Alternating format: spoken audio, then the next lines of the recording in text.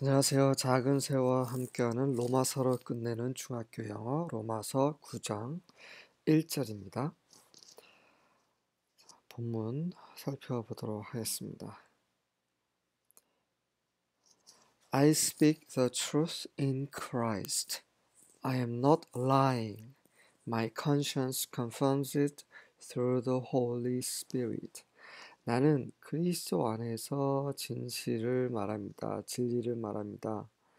나는 거짓말하고 있는 것이 아닙니다. 내 양심이 그것을 내가 거짓말하고 있지 않다는 것을 확증하고 있습니다. 성령을 통해서 성령으로 말미암아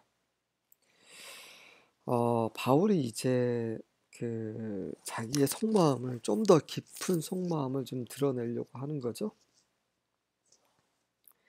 그는 그리스도 안에서 있는 사람입니다. 음, 그리스도 안에 있으며 그리스도 안에 진실을 말합니다. 그는 육체 가운데 있지 않아요. 자기 자신 가운데 있지 않습니다. 음, 그가 하는 말은 진실이요. 이 진실의 근거는 그리스도입니다. 다시 말해서 그는 지금 강조하고 있는 거예요. 어, 자기가 하고 있는 말이 진짜라는 것을. 양심이 컨펌 사할 뿐만 아니라 성령께서도 그렇다라고 하시는 거죠.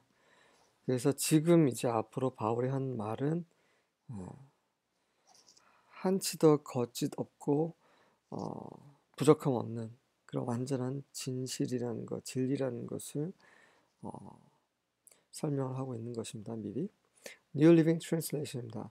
With Christ as my witness, I speak with utter truthfulness. My conscience and the Holy Spirit confirm it. 좀 더 명확하죠?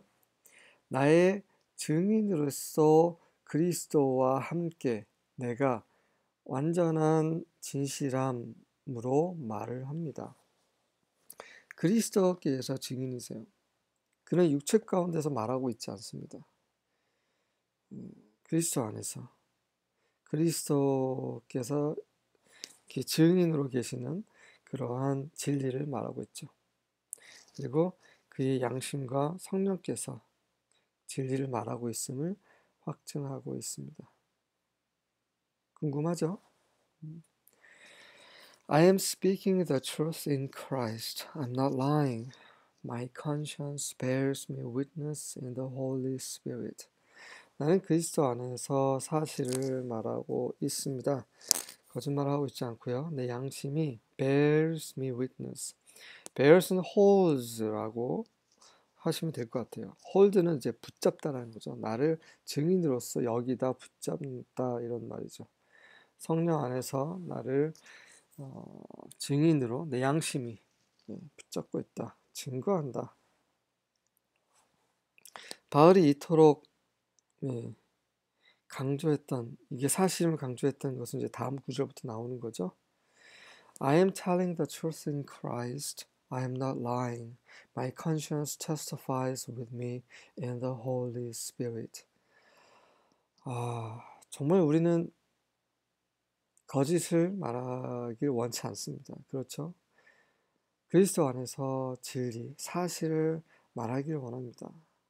우리는 정말 우리가 죽을 때까지 우리 입에서 거짓 없이 오로지 사실만 그리스도 안에서 그리스도께서 그리고 우리 양심이 그리고 성령께서 확증하는 그러한 사실만 말할 수 있기를 바랍니다. 쉽지가 않죠? 그 14만 4천 예수님과 함께 예, 군사로 군사로 모집된 그 14만 4천의 특징 중에 하나가 거짓이 없다라는 거죠.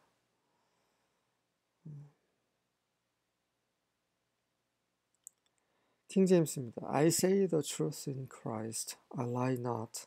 My conscience also bearing me witness in the Holy Spirit. 오늘도 그리스도 안에서 살기 원합니다. 우리의 양심이 성령과 함께 우리가 거짓되지 않고 진실된 삶을, 진실된 말을, 진실된 행동을 한다라고 confirm, bearing witness 하시기를 하나님의 은혜를 구합니다. 아멘.